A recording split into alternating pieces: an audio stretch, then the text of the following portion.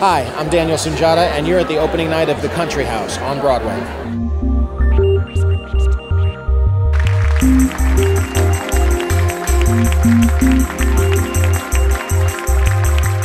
The Country House is essentially a family comedy drama, except all of the people in it are somehow related to acting or the theater or film, uh, except for one character played by Sarah Steele, who is a college student who has eschewed the whole family business. But for me, it was a, it was kind of a departure from some of my other uh, sort of more dramatic work. Although this too, I think, will leave people in tears It's about a family of theatrical people, but it really could be a family, it could be any family, with dysfunctions that I think are certainly possible in any family.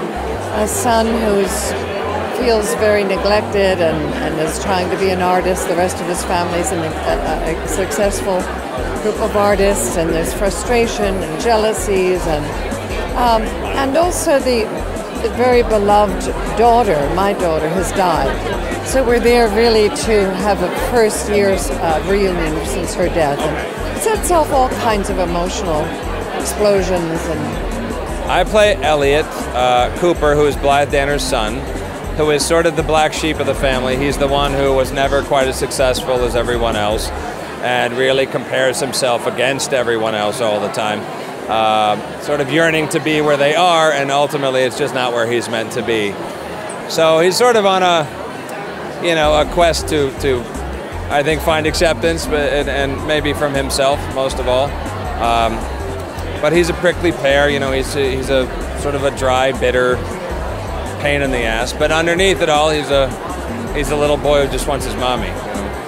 I play Nell, a wonderful woman, who, uh, an actress who's a guest in the country house, not part of the family, but trying to join this family. So she's causing a little mayhem and investigating some colorful personalities in the Berkshires.